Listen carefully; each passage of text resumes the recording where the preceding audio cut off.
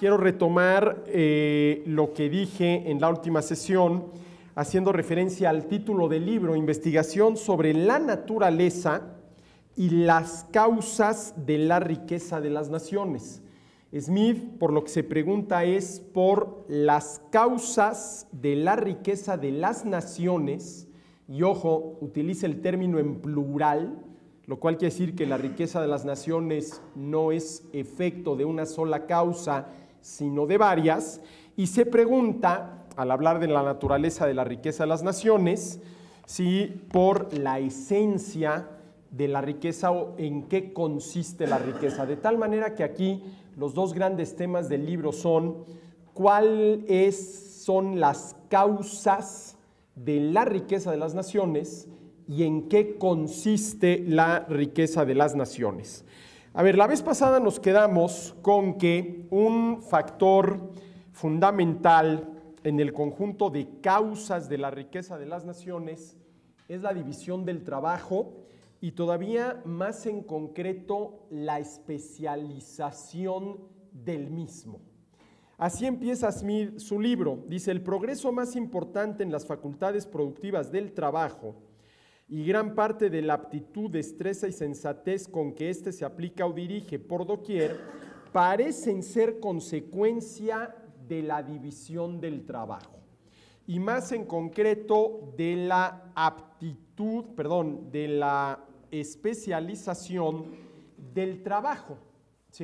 Si queremos producir más bienes y servicios, de entrada tenemos que volvernos más productivos, tenemos que ser capaces de, por lo menos en la misma cantidad de tiempo, producir más bienes y servicios. Eso quiere decir aumentar la productividad y una condición para aumentar la productividad es precisamente la división y especialización del trabajo, que nos dividamos el trabajo y que luego nos especialicemos dentro ya de la división del trabajo en alguna operación específica, por ejemplo, de un proceso de producción, lo cual va a dar como resultado un aumento en nuestra productividad, un aumento en nuestra productividad. El ejemplo que pone Smith, que es uno de los ejemplos más conocidos de la literatura económica, es lo que sucede en una fábrica dedicada a la producción de alfileres. Y lo que dice Smith es que si una persona tuviera que realizar todo el proceso de producción del alfiler, probablemente no produciría más de 20 alfileres al día y seguramente no llegaría ni siquiera a un alfiler. Pero que si ese proceso de producción del alfiler se divide entre distintas personas, y Smith habla aquí en concreto de dividir el proceso de producción del alfiler, ya no recuerdo en cuántas, creo que en 19 o 17 operaciones distintas, ¿sí? Bueno, él habla de 10 personas, 10 personas dividiéndose el proceso de producción del alfiler, podrían, sí, hacer entre todas 48 mil alfileres al día, que divididos entre 10, pues da una productividad por persona de 4.800. Luego, Smith explica ¿sí? ¿Por qué el aumento en la productividad del trabajo a raíz de la división del mismo? Y dice que hay fundamentalmente tres causas. En primer lugar, ¿sí? en la medida en que alguien se dedica a un solo trabajo, se vuelve más diestro, se vuelve más hábil y es capaz de producir más. En segundo lugar, dice Smith, por el ahorro de tiempo que supone especializarse en un trabajo para no tener que andar de un lado a otro.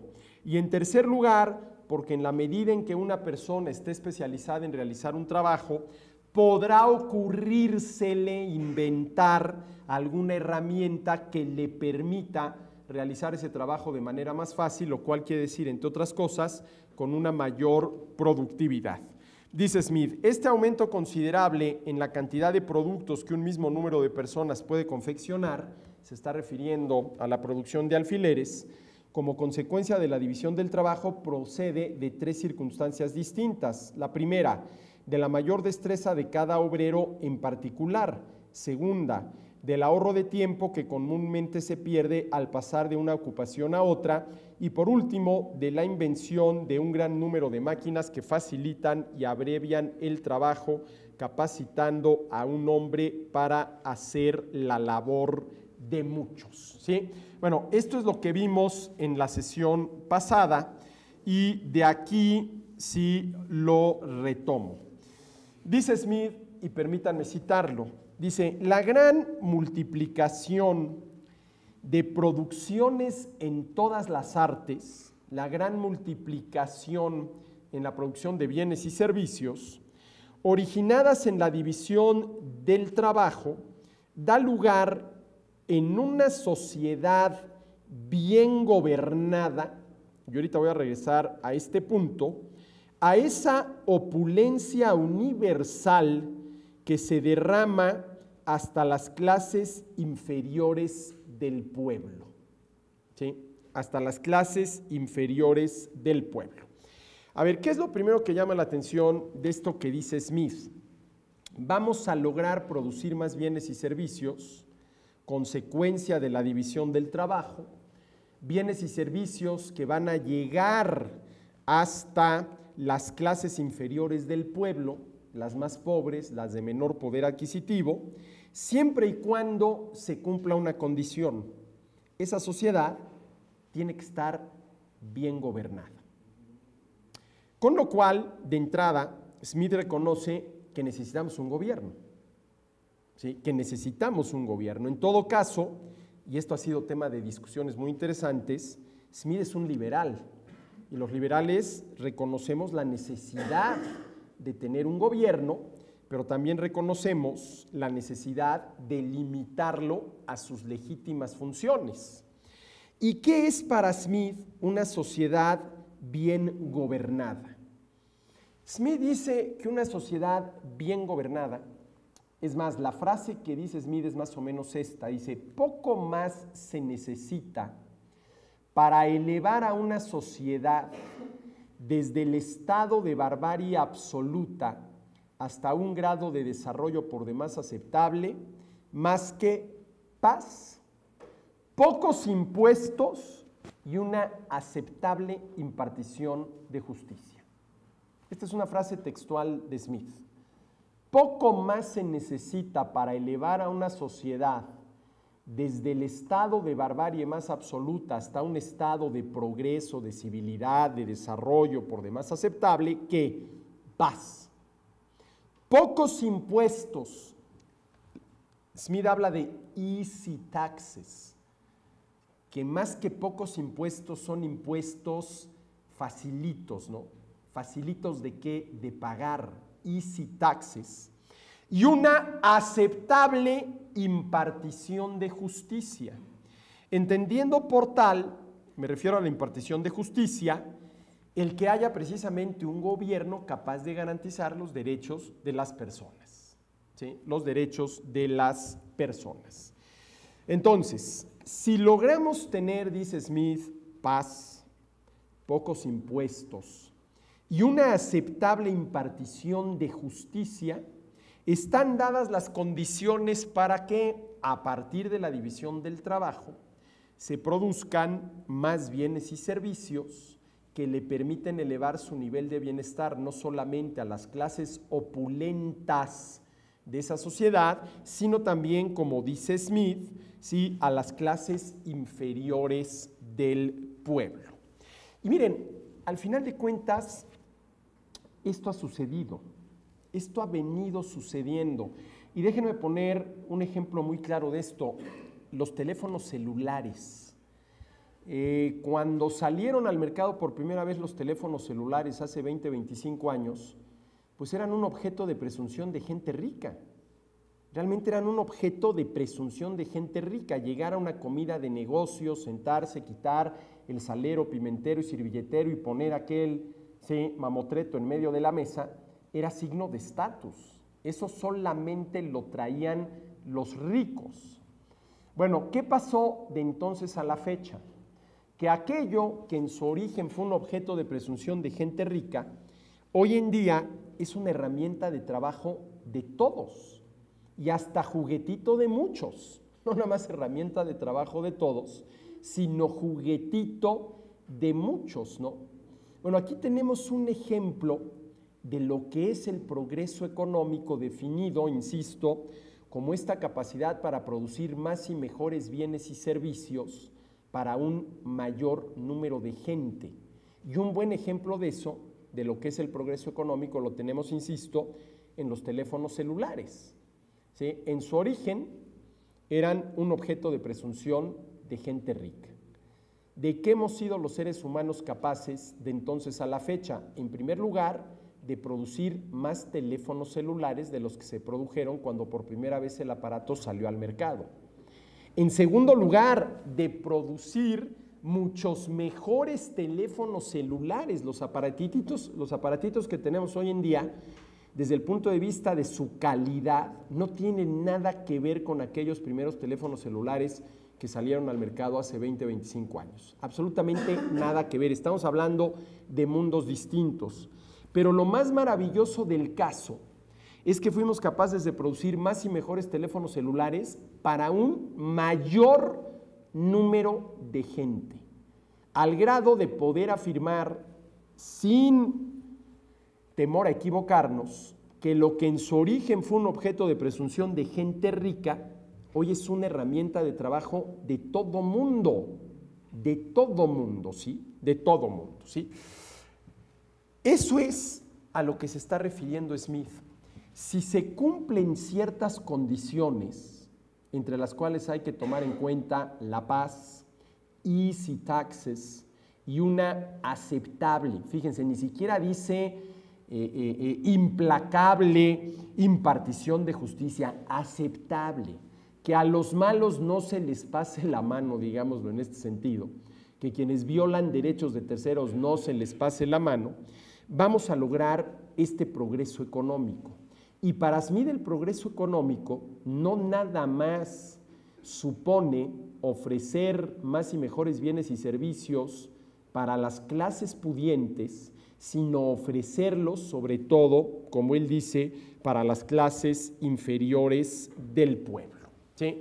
Vuelvo a citar a Smith. Dice, la gran multiplicación de producciones en todas las artes, la multiplicación de la producción de bienes y servicios ¿sí?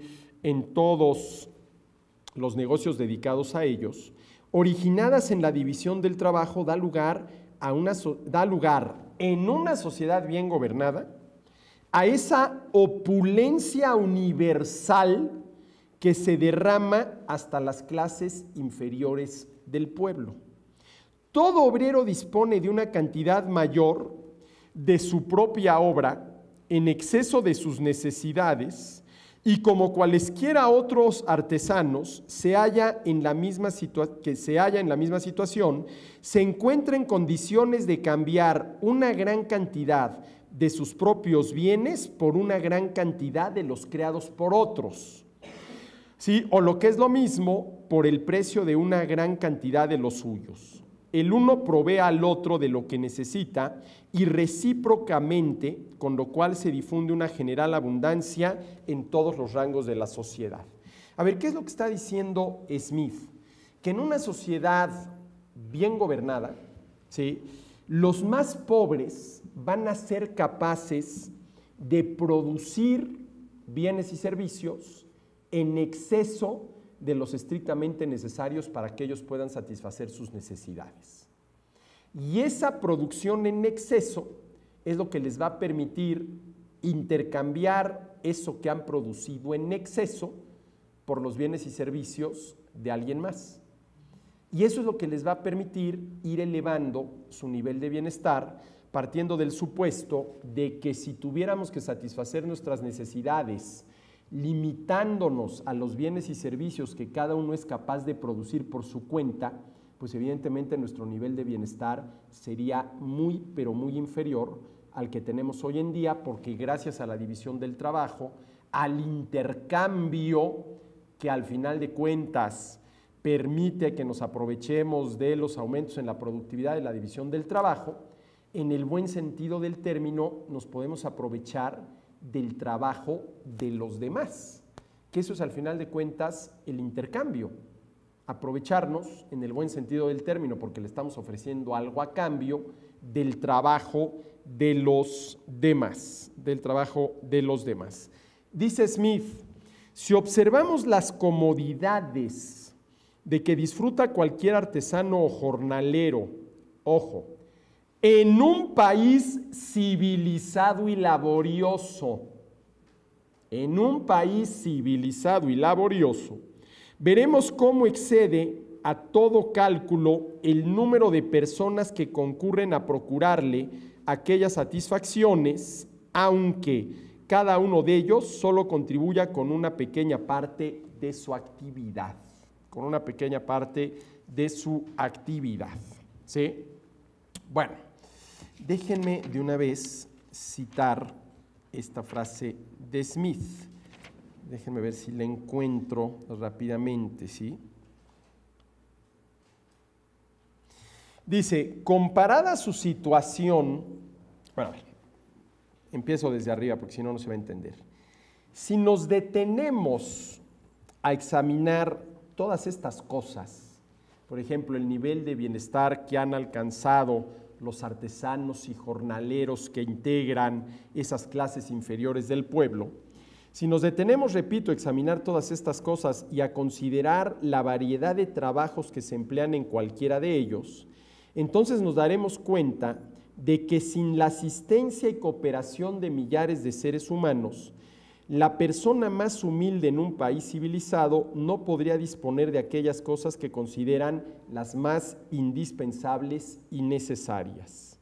¿Sí? Realmente, comparada su situación, la de estos jornaleros y obreros que integran las clases bajas de la sociedad, con el lujo extravagante del grande, del noble, del aristócrata, no puede por menos de parecernos simple y frugal. Si comparamos, por ejemplo, la situación de un artesano que tiene su tallercito en la época, ¿sí? todavía del absolutismo francés a mediados del siglo XVIII, y la comparamos con la opulencia en la que vivía, por ejemplo, un poco después Luis XVI, pues sí, las diferencias son enormes. Pero con todo eso, aceptando esas enormes diferencias, no es menos cierto que las comodidades de un príncipe europeo no exceden tanto las de un campesino económico y trabajador como las de éste superan las de muchos reyes africanos, dueños absolutos de la vida y libertad de 10.000 salvajes desnudos. A ver, ¿qué es lo que está diciendo Smith? Que si tenemos aquí a este artesano o jornalero, con la condición de que sea, como dice Smith,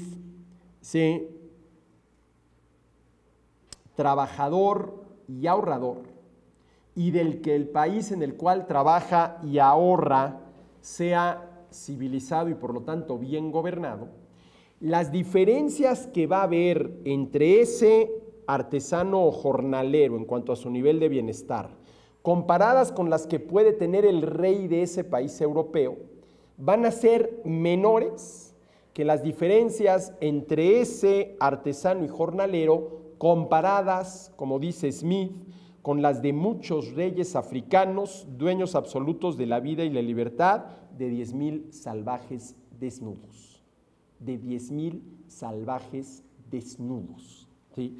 A ver, hay que tener en cuenta que Smith vivió en una época, prácticamente el siglo XVIII. Smith nace en 1723 y muere en 1790, pues prácticamente le tocó vivir todo el siglo XVIII, en el cual por primera vez en la historia de la humanidad se dieron las condiciones para que poco a poco, con esfuerzo, con ahorro, en países bien gobernados, en países civilizados, la gran mayoría de la gente empezara a elevar su nivel de bienestar.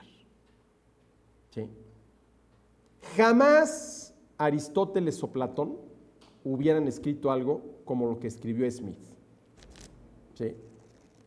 Porque en las épocas de Platón y Aristóteles, la regla por mucho era la pobreza y la excepción era la riqueza.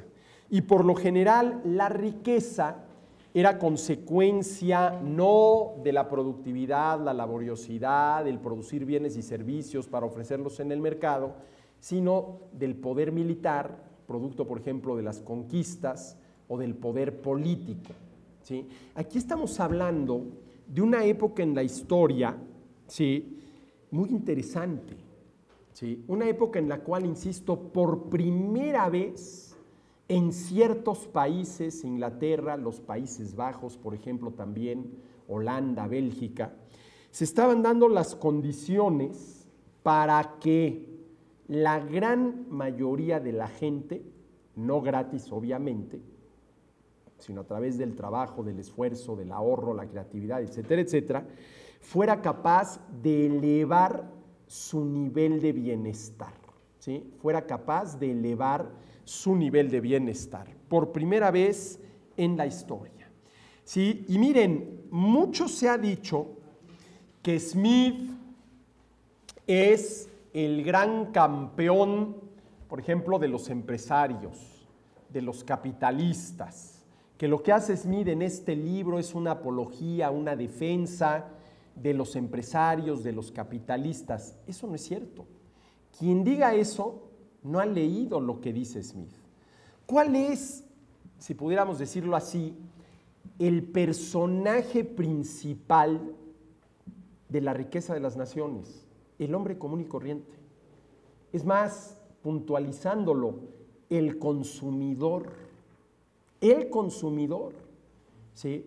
Lo que propone Smith es un sistema económico que de llevarse a la práctica termina beneficiando a los consumidores, no a los productores.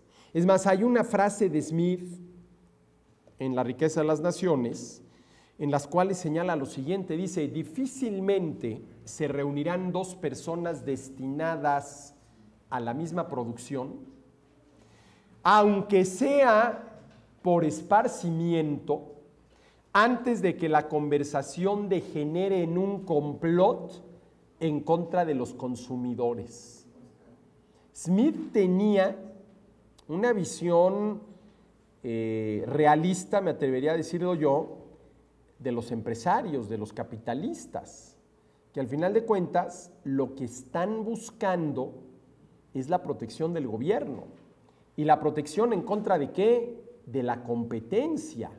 La riqueza de las naciones es en muy buena medida un alegato en contra de lo que Smith llama el sistema mercantil, que es lo que hoy conocemos como mercantilismo, cuya esencia es el proteccionismo, el gobierno protegiendo a los productores nacionales de la competencia que puedan traer consigo las importaciones. Y eso va en contra, obviamente, del bienestar de los consumidores, a quienes los que les conviene es que en el mercado exista la mayor oferta posible de bienes y servicios, independientemente de dónde se hayan producido estos, porque eso se va a traducir en menores precios y en mayor calidad, y esa es la combinación mayor calidad, menores precios, que le permite a los consumidores elevar su nivel de bienestar. Entonces, Smith no es de ninguna manera el gran defensor de los capitalistas, de los empresarios. ¿sí? Es el gran defensor del consumidor. Es el gran defensor del consumidor. ¿sí? Bueno, ¿sí? entonces, a ver, ¿qué es lo que está diciendo Adam Smith? Que una de las causas imprescindible de la riqueza de las naciones es precisamente la división del trabajo. Recuerden el ejemplo que puse yo en la última sesión al hablar de Robinson Crusoe y Viernes. Supuse que Robinson Crusoe es capaz de pescar 10 peces en 4 horas de trabajo y de bajar 10 cocos en cuatro horas de trabajo. Si Robinson Crusoe trabaja ocho horas y dedica cuatro a la pesca y cuatro a bajar cocos, ¿con cuántos pescados va a contar? Con 10. ¿Y con cuántos cocos va a contar? Con 10.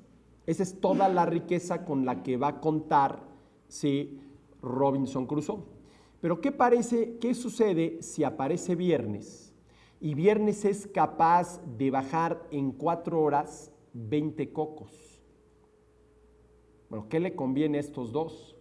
Que viernes se dedique a bajar cocos, porque en cuatro horas va a bajar 20, el doble de lo que bajaría Robinson Crusoe, y suponiendo que viernes necesite cuatro horas para pescar cinco peces y Robinson Crusoe en las mismas cuatro horas pesca 10, ¿quién es el que se tiene que dedicar a la pesca?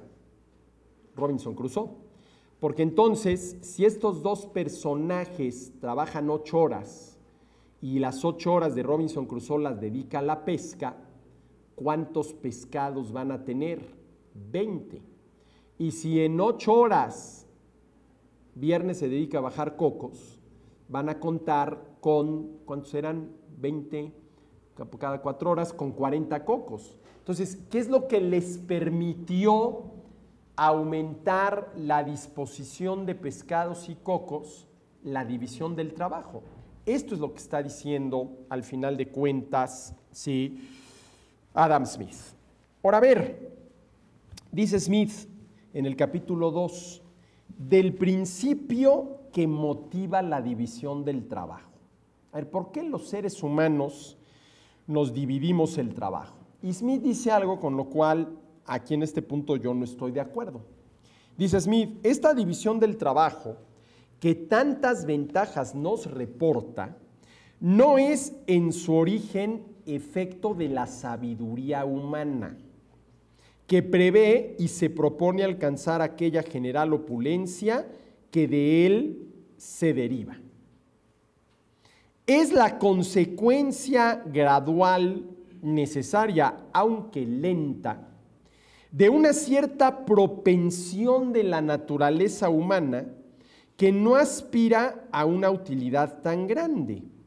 La propensión a permutar, a cambiar y negociar una cosa por otra.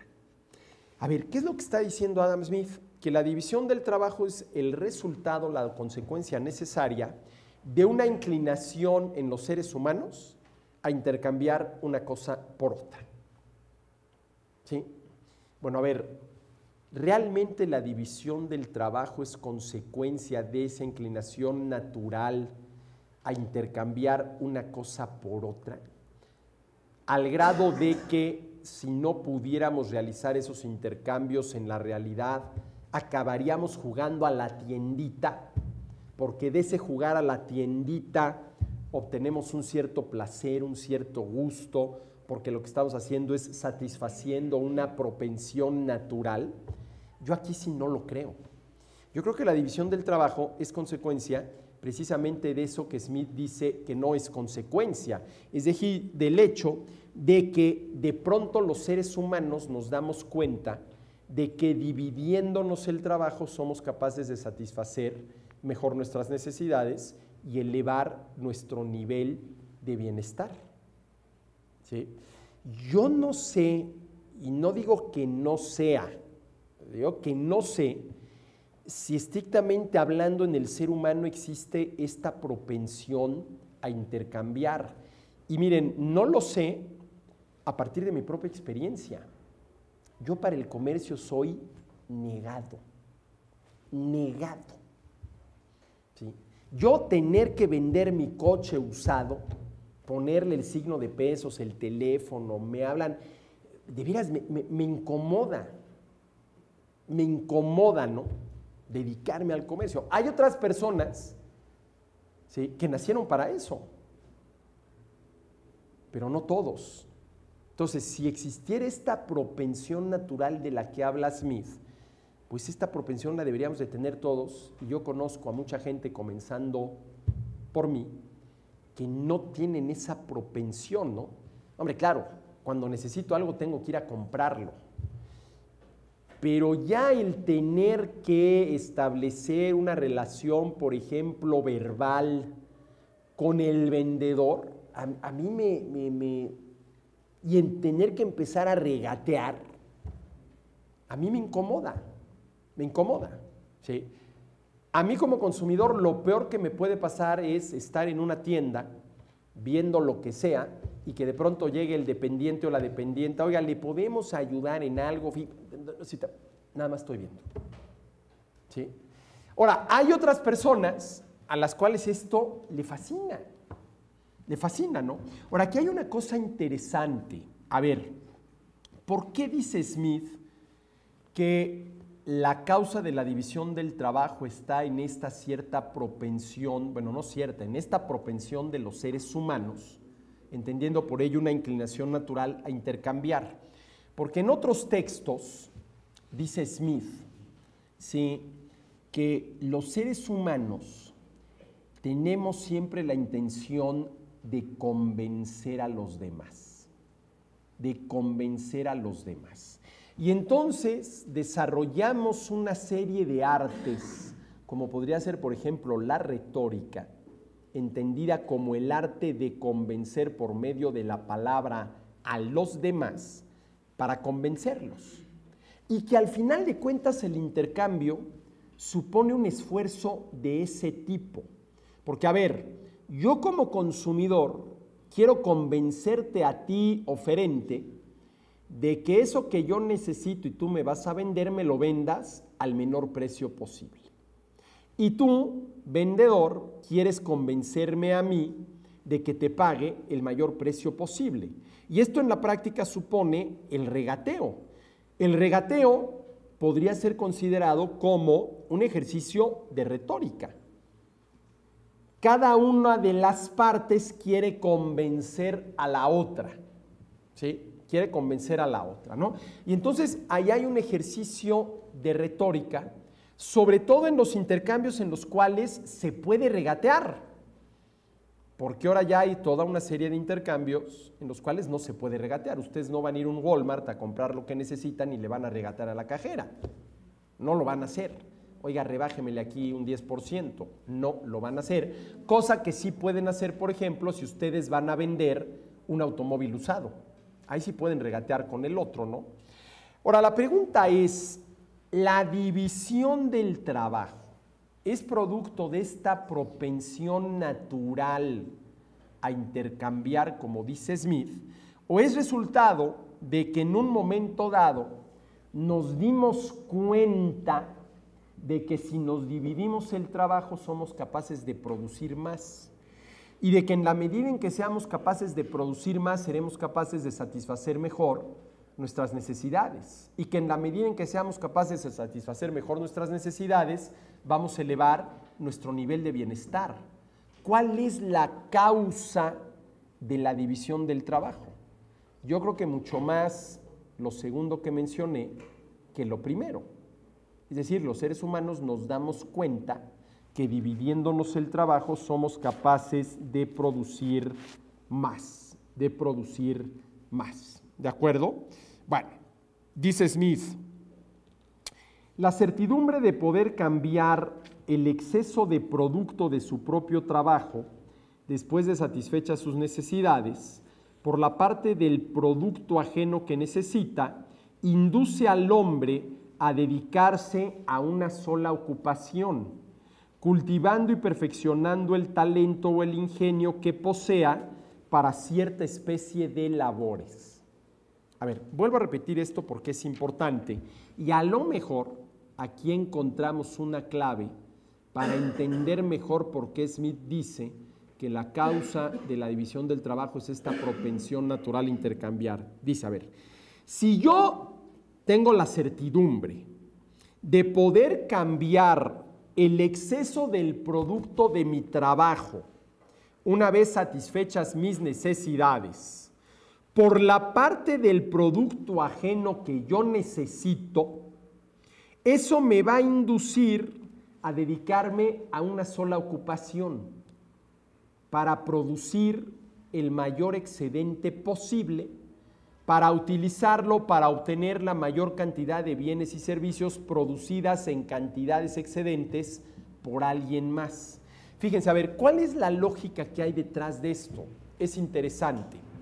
A ver, una cosa es decir que si nos dividimos el trabajo, vamos a poder producir más. Y otra cosa es decir que si nos dividimos el trabajo y cada quien produce lo más posible, vamos a poder disponer de más bienes y servicios. De más bienes y servicios. A ver, ¿quién puede disponer de más bienes y servicios? ¿Quien genera un ingreso de 10 mil pesos al mes o quien genera un ingreso de 100 mil pesos al mes? Pues quien genera un ingreso de 100 mil pesos al mes va a poder disponer de una mayor cantidad del producto del trabajo de los otros. ¿Quiénes son esos otros?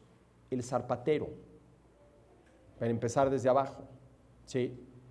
El sastre, que hace el traje que trae uno puesto. ¿sí? El productor de los anteojos, tanto de los cristales como de el armazón, ¿sí? como de el armazón. De tal manera que si yo quiero disponer de una mayor cantidad del producto de los demás, tengo previamente que producir la mayor cantidad de producto de la que yo sea capaz. Esto es lo que está diciendo Smith. Ahora miren, aquí hay una cosa muy interesante. Dice Smith, de esta suerte, la certidumbre de poder cambiar el exceso de producto de su propio trabajo, después de satisfechas sus necesidades por la parte del producto ajeno que necesita, induce al hombre a dedicarse a una sola ocupación, cultivando y perfeccionando el talento o el ingenio que posea para cierta especie de labores. Ahora, a ver, aquí la parte importante de esta frasecita es la certidumbre. La certidumbre de poder cambiar el exceso del producto de trabajo. ¿Y esto qué tiene que ver con una sociedad bien gobernada de la cual ya hablaba Smith? Bueno, recordemos que para Smith una sociedad bien gobernada es una sociedad en la cual hay paz, hay easy taxes, ¿sí? pocos impuestos, y hay una impartición de justicia aceptable. Aceptable. Ahora, a ver, centro la atención en el tema de los impuestos, porque de estos tres, la paz, los impuestos y la administración de justicia, pues es el tema más económico de los tres. A ver, jóvenes, ¿qué supone que el gobierno cobre impuestos? A ver, ¿qué es lo que hace el gobierno cuando nos cobra impuestos? Nos obliga a entregarle parte del producto de nuestro trabajo. Yo siempre lo he dicho, yo no pago impuestos, a mí me los cobran. Yo no pago impuestos, a mí me los cobran y los pago porque no me quiero meter en un problemón. Pero yo no los pago si por ello entendemos la misma conducta que sigo cuando sí pago estos anteojos. Nadie me obligó, bueno, la vista cansada es lo que me obligó al final de cuentas a pagar estos anteojos, ¿no? Pero fíjense, jóvenes, cobrar impuestos supone obligar al contribuyente a entregarle al recaudador parte del producto de su trabajo. Lo cual ya de entrada nos plantea la siguiente pregunta. A ver, ¿tenemos o no tenemos los seres humanos derecho al producto íntegro de nuestro trabajo? Miren, yo esta pregunta, y no exagero, la he hecho ante miles de personas. Y nunca he encontrado a alguien que diga, no, el ser humano no tiene derecho al producto íntegro de su trabajo. Bueno, si esto es así, y los seres humanos tenemos derecho al producto íntegro de nuestro trabajo, entonces hay que buscar la justificación para el cobro de impuestos por el cual el recaudador nos obliga a entregarle parte del producto de nuestro trabajo. Hay que encontrar una justificación a ello. Porque, a ver, ¿cómo calificar la conducta de alguien que bajo amenaza obliga a otro a entregarle parte del producto de su trabajo? Eso con una sola palabra, ¿cómo se llama? Robo. Eso es robo. Si yo a ustedes los obligo a punta de pistola a entregarme su cartera, y en su cartera está parte del producto de su trabajo, del ingreso que generaron, los estoy robando. Miren, cuando yo digo esto, que el cobro de impuestos de entrada es un robo, la gente se queda con los ojos cuadrados, ¿no? Oye, entonces lo que usted está diciendo es que lo que hace el gobierno en general y el servicio de administración tributaria en particular es robar. Bueno, yo nomás les digo, jóvenes, cuando alguien obliga a otro bajo amenaza, amenaza que en el caso del cobro de impuestos va desde una multa hasta la cárcel, a entregar parte del producto de su trabajo, pues ¿cómo se le llama eso? robo. Ah, no, pero es que en este caso no, porque en este caso quien lo realiza es el gobierno. Y además detrás de cada impuesto cobrado hay una ley. En México, cada impuesto tiene su ley. Está la ley del impuesto al valor agregado, está la ley del impuesto sobre la renta, y ahí nos vamos. Sí, de acuerdo. Aquí quien impone esa obligación es el gobierno. Y detrás de cada uno de los impuestos que el gobierno cobra hay una ley. Pero ojo, una acción nunca se puede calificar por la identidad de la gente, la identidad de quien la realiza, sino por la naturaleza misma de la acción. ¿Sí? No, es que si lo realiza Chucho el Roto a punta de pistola y te obliga a entregarle parte del producto de tu trabajo, te está robando. Pero si quien lo realiza es el gobierno y si además lo realiza todo eso avalado por una ley, por estar avalado por una ley y ser el gobierno, eso ya no es un robo. Bueno, a ver, entonces, la misma acción realizada por agentes distintos, Chucho el Roto en el primer caso, el gobierno en el segundo, ¿cambia su naturaleza?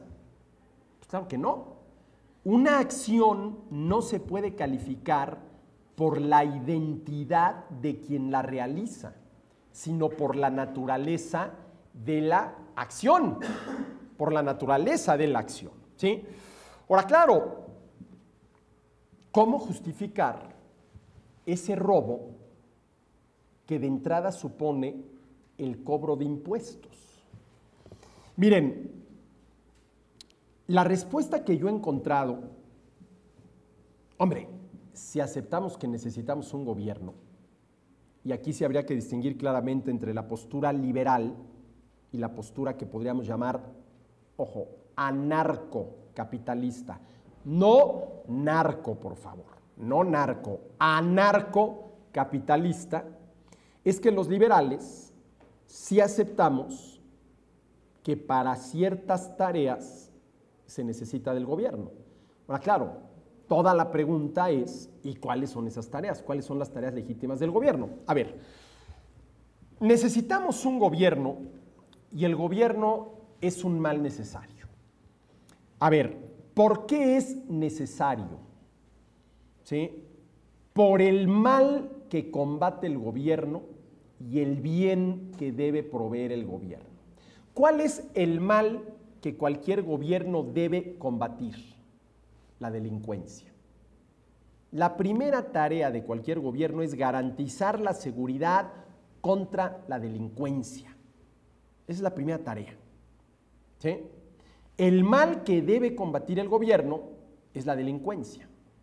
¿Cuál es el bien que debe proveer el gobierno? La justicia. La justicia. Entonces, el mal que debe combatir el gobierno es la delincuencia, la violación de los derechos de los ciudadanos, matar, violas el derecho a la vida, secuestrar, violas el derecho a la libertad, robar, violas el derecho a la propiedad. Y en caso de fallar, entonces tienes que impartir justicia. Y lo ideal sería que se impartiera en sus dos vertientes, castigar al delincuente y en la medida de lo posible resarcir a la víctima del delito. ¿eh? Entonces, dado que el gobierno debe de combatir ese mal y proveer ese bien, es que es necesario. Para vivir civilizadamente necesitamos de alguien que combata ese mal que es la delincuencia y provea ese bien que es la impartición de justicia. Ahora, ¿por qué es un mal el gobierno? Por la manera que tiene de financiar esas tareas cobrando impuestos, obligando al contribuyente a entregar parte del producto de su trabajo. Ahora, aquí hay una pregunta muy interesante, jóvenes. ¿Y por qué si las dos tareas irrenunciables de cualquier gobierno son combatir la delincuencia e impartir justicia, y todo mundo está de acuerdo en que para convivir civilizadamente hay que combatir la delincuencia y impartir justicia, ¿por qué no dejamos que los ciudadanos voluntariamente aporten lo que sea su voluntad, valga la redundancia, para financiar esas dos tareas del gobierno? A ver, ¿quién de ustedes estaría en contra de que hay que vivir en una sociedad en la cual se combata el delito?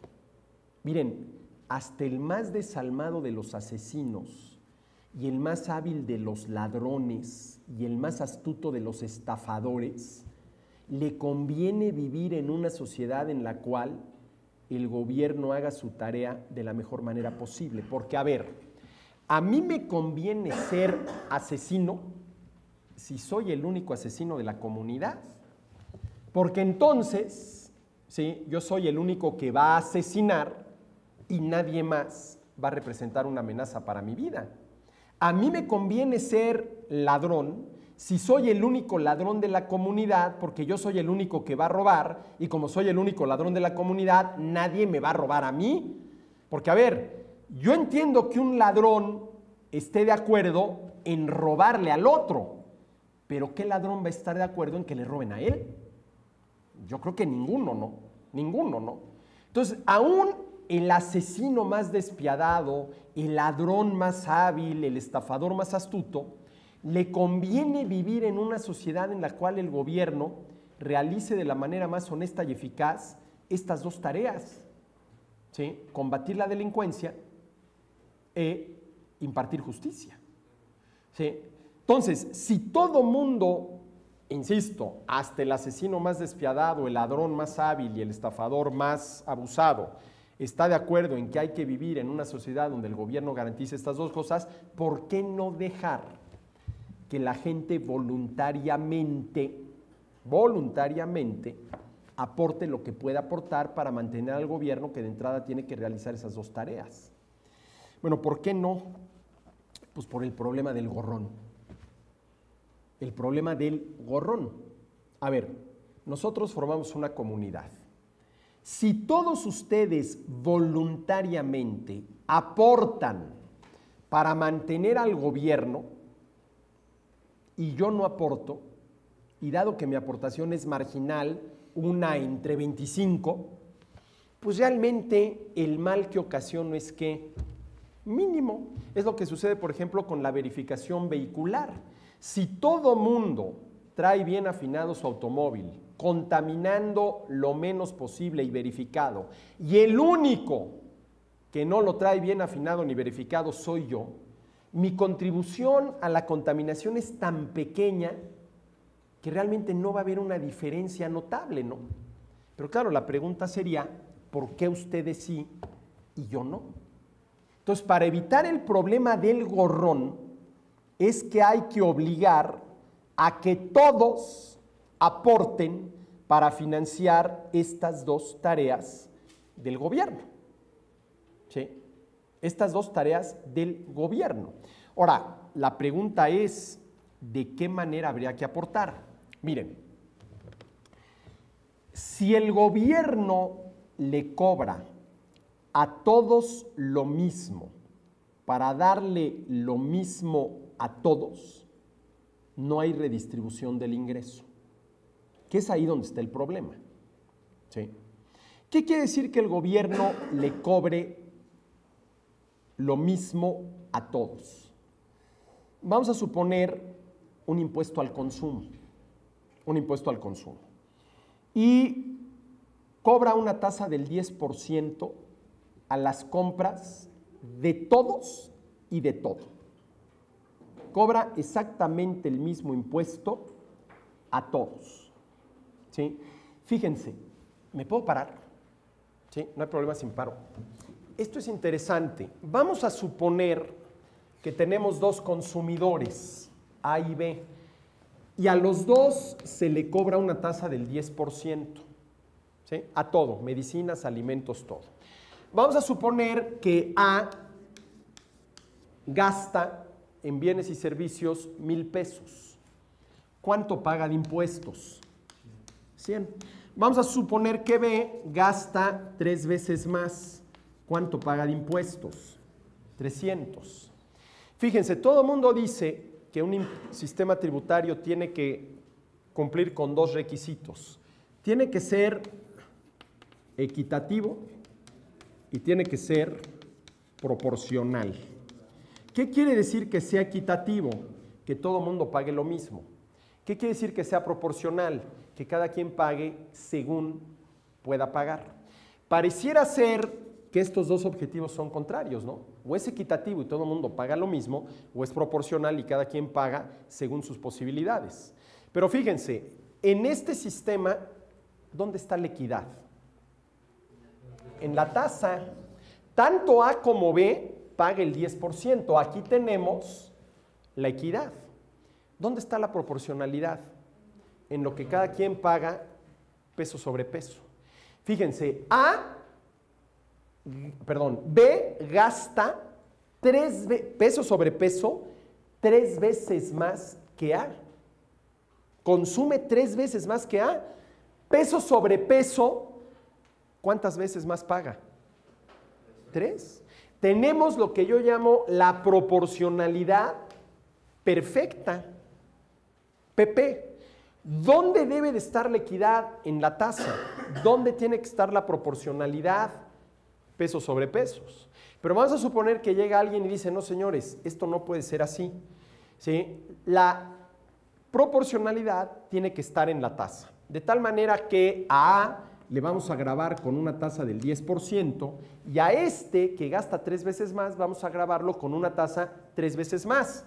Vamos a aplicarle una tasa del 30%. Si yo le aplico una tasa del 30%, entonces, ¿cuánto termina pagando B?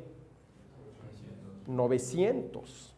A ver, gasta tres veces más, pero termina pagando nueve veces más. La pregunta es si esto es justo. pues claro que no. Claro que no. Y mucho menos si tú utilizas, por ejemplo, ¿sí? 600 de estos 900 pesos para dárselos a para redistribuir de B a A. Entonces, a ver, a lo que voy, jóvenes, es a lo siguiente. ¿Por qué necesitamos impuestos? Pero porque necesitamos un gobierno que por lo menos realice con la mayor honestidad y eficacia de la que sea posible estas dos tareas, que son las dos tareas irrenunciables de un gobierno, garantizar la seguridad contra la delincuencia e impartir justicia. Para evitar el problema del gorrón, es que hay que obligar a que todos los ciudadanos paguen impuestos. La pregunta es, ¿cómo? A ver, si yo le cobro lo mismo a todos, estoy cumpliendo con la equidad y la proporcionalidad. ¿Sí? No estoy redistribuyendo a la hora de cobrar impuestos. ¿Qué quiere decir redistribuir a la hora de cobrar impuestos? A ti te cobro 10, a ti te cobro 30, y esta diferencia, por ejemplo, de 20 puntos porcentuales, que en este caso serían los 600, ¿sí? se los doy a...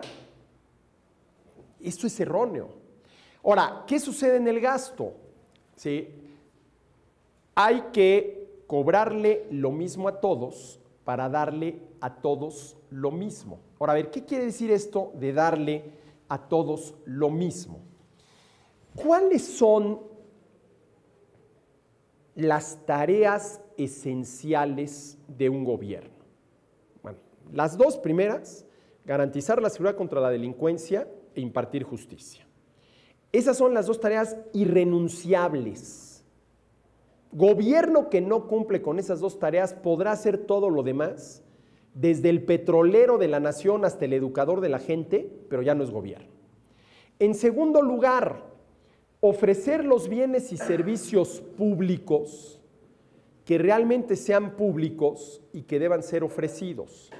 Dos ejemplos, el drenaje y el alumbrado público de las calles. Y tercera tarea del gobierno, ordenar la convivencia en los espacios públicos. Un buen ejemplo de esto son los semáforos. ¿Por qué hay que poner semáforos? Para ordenar la convivencia de los automovilistas entre sí y de los automovilistas con los peatones. A ver, si el gobierno hace estas tareas, está redistribuyendo, ¿no? Quitándole a unos para darle a otros, no. No, porque a ver, si a mí me cobran impuestos y con esos impuestos van a poner el alumbrado público en Monterrey, pues, ¿pero qué quiere decir esto? Que el día que yo vaya a Monterrey, salgo a caminar por la calle y ahí está el alumbrado. Hombre, claro, el alumbrado de Extremadura, pues solamente puede alumbrar Extremadura. Ahí sí no hay de otra, ¿no?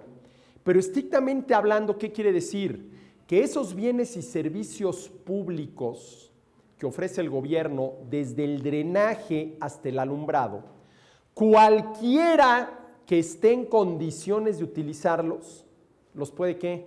utilizar. Si yo voy a Monterrey, uso el alumbrado público de las calles de Monterrey y el drenaje de Monterrey. ¿Sí? Entonces, lo interesante del caso es ¿sí?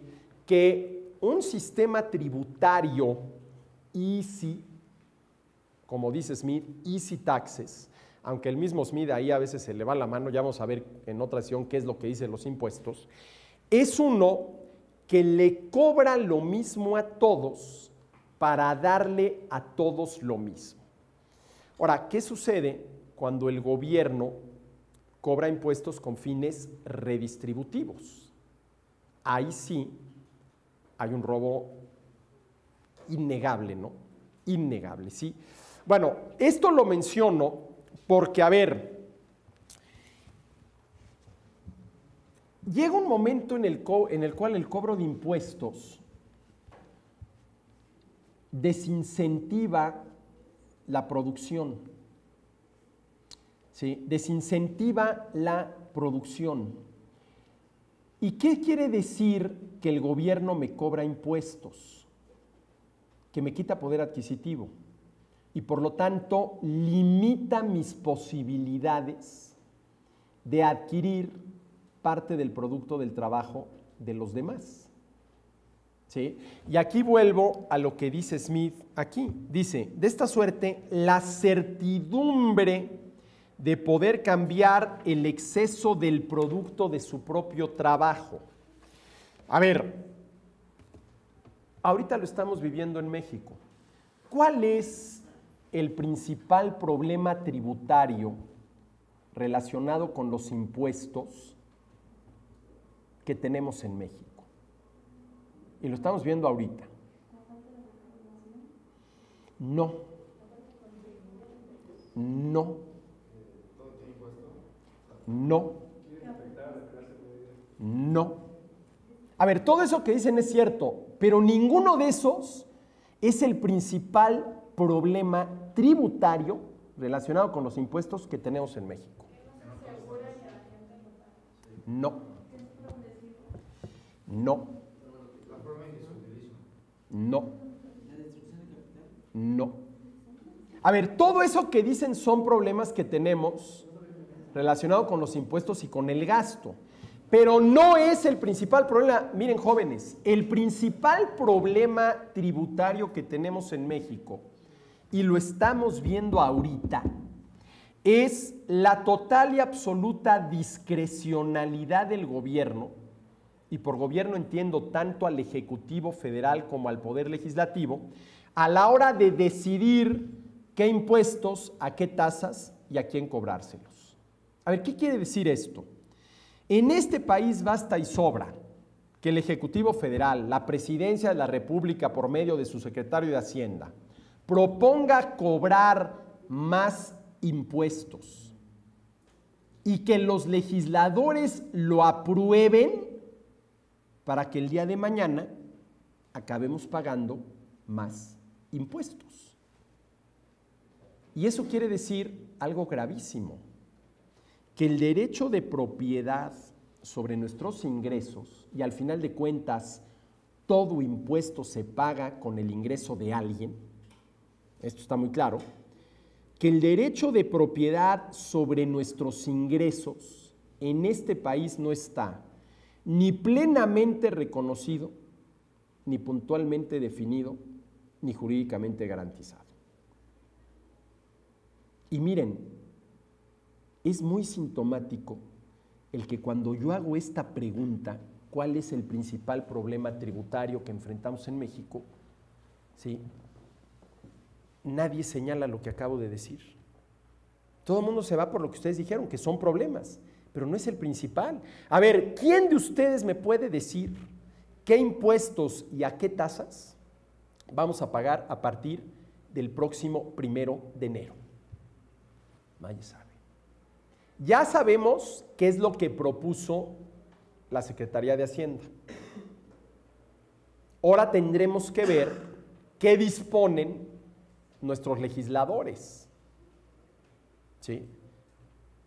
Pero ¿cómo es posible que en un tema tan delicado como es el obligar al contribuyente a entregar parte del producto de su trabajo, ¿sí? padezcamos esta discrecionalidad. Y lo vemos como lo más normal. El que no haya claramente establecido un límite a la capacidad de recaudación del gobierno. Miren, Benjamin Franklin, Benjamin Franklin, contemporáneo de Smith, decía, ¿sí? que para cualquier persona, ¿sí? un impuesto mayor al 10% propio de gobiernos tiránicos sería ya algo verdaderamente insufrible. Un impuesto del 10%. No sé si Franklin se refería muy probablemente sí a un impuesto sobre el ingreso. Dice, porque ya más del 10% Sería un impuesto propio de gobiernos tiránicos. Bueno, si a Franklin lo reviviéramos y le enseñáramos la cantidad de impuestos que se cobran en México y a las tasas a las que se cobran, nos diría, ¿y cómo han permitido ustedes esa tiranía? Y si además le dijéramos que ahorita, primero de octubre, nadie en este país sabe qué impuestos, a qué tasas va a pagar dentro de tres meses, se vuelve a morir. ¿Cuáles son las tres condiciones que según Smith se necesita para elevar a una nación desde la barbarie más absoluta hasta un grado de prosperidad aceptable, etcétera, etcétera? La paz, easy taxes y una tolerable, ni siquiera dice total y absoluta, férrea, impartición, no, tolerable impartición de justicia. ¿Qué hubiera dicho Adam Smith si hoy hubiera tenido que ir en la mañana ¿sí? del Hotel Four Seasons en Reforma, porque supongo que Adam Smith sí, se hospedaría en el Four Seasons de Reforma, al aeropuerto y se encuentra el bloqueo de los maestros, entre comillas, de la CNTE. Es que esta es una intolerable desimpartición de justicia. ¿Cómo que te voy, no te voy a dejar pasar? A ver, ¿cómo que no te voy a dejar pasar?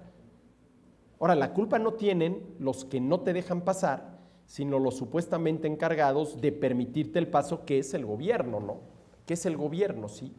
Miren, a esta frasecita de la paz, easy taxes y una tolerable impartición de justicia, se le puede sacar muchísimo provecho, muchísimo provecho, ¿sí?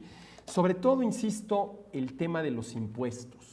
El tema de los impuestos es un tema que yo ahorita traigo este, a flor de piel porque, miren, me dicen, oye, pero es que tú estás muy enojado con esto de la reforma tributaria que propuso Peña Nieto y Videgaray. A ver, no estoy enojado, estoy preocupado, estoy decepcionado porque me doy cuenta de que nunca vamos a dejar de ser el país que somos existiendo la posibilidad de ser un país mucho mejor, con un nivel de progreso económico mayor, sobre todo para ese 45% de la población de mexicanos que sobrevive en la pobreza, ¿no? que sobrevive en la pobreza. Y cuando tú ves que proponen esto, que proponen cosas tan absurdas, no sé si ya lo comenté, como pretender grabar con el 16% del IVA los espectáculos. Bueno, eso no es tan absurdo. Lo absurdo es pretender grabar con 16% de IVA los espectáculos menos el teatro y el circo. A ver, ¿qué cabildeo realizaron la gente del teatro y del circo para convencer a Videgaray de que le proponga cobrar el 16% de IVA a cualquier otro espectáculo, menos al teatro y al circo. Pero además, a ver, acéptenme que el teatro es un espectáculo elitista, de gente rica, y que el circo, salvo que sea el du Soleil, es un espectáculo popular, popular. La típica carpa de circo que se pone en el terreno baldío frente a tu casa ahí de vez en cuando. Entonces, a ver, ¿con qué lógica dices tú, a ver, no les voy a cobrar el impuesto ni a los ricos que van al teatro, ni a los pobres que van al circo, pero sí a la clase media que va al cine, o a los conciertos, o al palenque, ¿sí? Que todos esos son espectáculos. A ver, es que esto es, verdaderamente, miren, de veras yo quisiera tomarme un café con Videgaray, o con quien haya ideado esto, decirle, mira, por favor, explícamelo, porque no lo entiendo. Por un lado, Peña Nieto se desvive por sacar adelante una reforma educativa que aumente la cantidad y calidad de la educación en México y la que se ha armado. Ya lo vimos con la CNT aquí en la Ciudad de México. Y por el otro propone grabar con 16% de IVA el pago de colegiaturas. Entonces, a ver, ¿estamos a favor o en contra de la educación? No, pero es que seguramente nada más los ricos mandan a sus hijos a la escuela privada. No es cierto. Eso no es cierto. ¿Sí? Eso no es cierto. ¿Sí? Además, no es lo mismo comprarse un coche europeo último modelo de lujo para presumírselo a los cuates, ¿sí?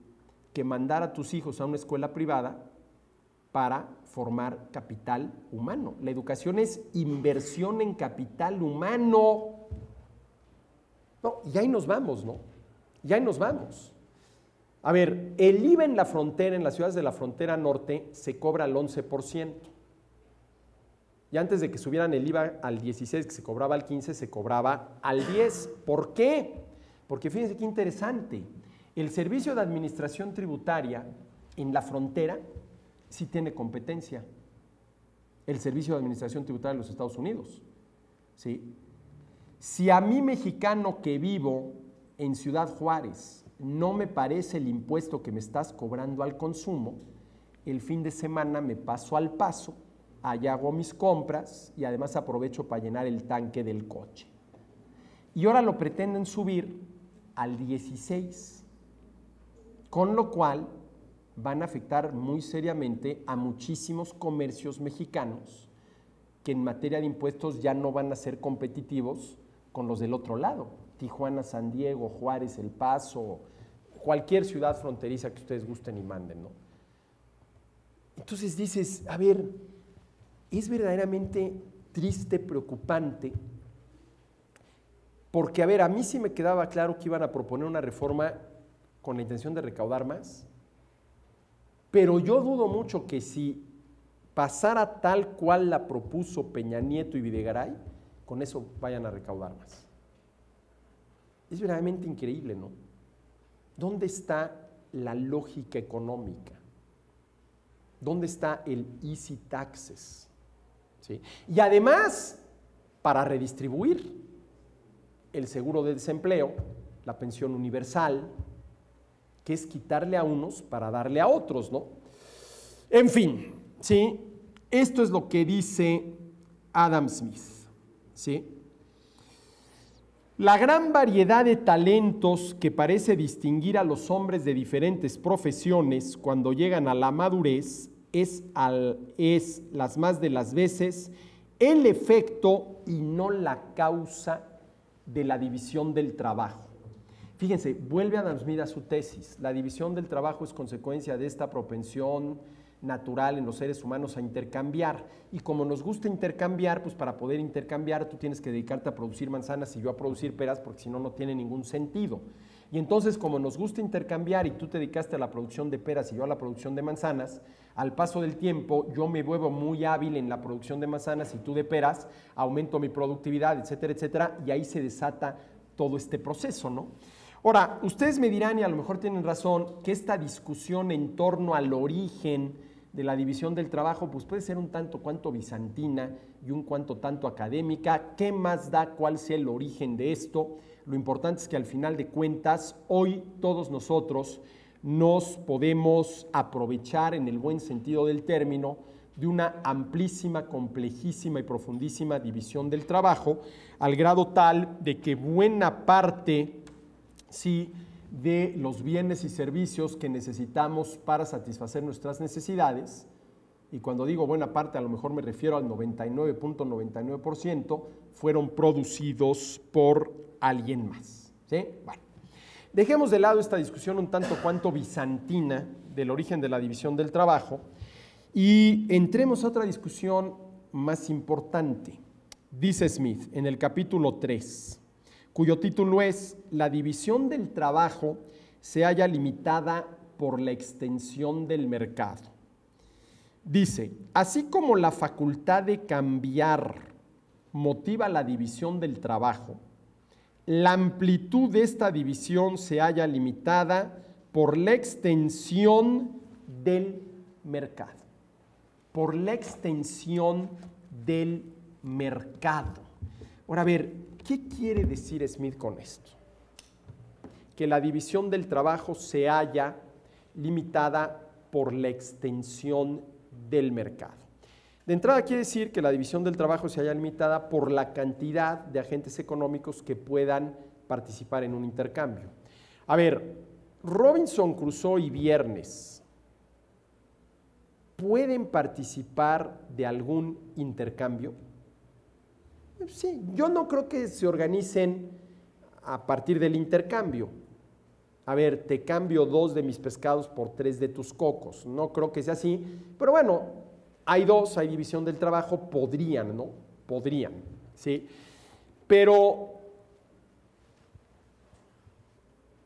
¿qué tanto progreso económico puede brindarles a Viernes y a Robinson Crusoe su incipiente división del trabajo? Mínima. Sí pueden aumentar su nivel de bienestar si se dividen el trabajo. pero podrán llegar a tener un nivel de bienestar parecido al nuestro? No. ¿Por qué? Por la extensión del mercado que pueden desarrollar ellos, que es, es, más, yo, yo ni siquiera creo que se organizarían a ver, yo bajo cocos y tú pescados y vamos a intercambiar pescados por cocos. Es más o menos a ver cuánto tenemos y bueno, pues este, la mitad para ti, la mitad para mí y a otra cosa, ¿no? Y bueno, jóvenes, perdón que me haya detenido en este tema de los impuestos, pero aprovechando lo de los easy taxes de Smith, quería yo comentar esto, ¿no? Porque sí me tiene muy preocupado esta propuesta de reforma tributaria y además hombre, a lo mejor nuestros legisladores son capaces,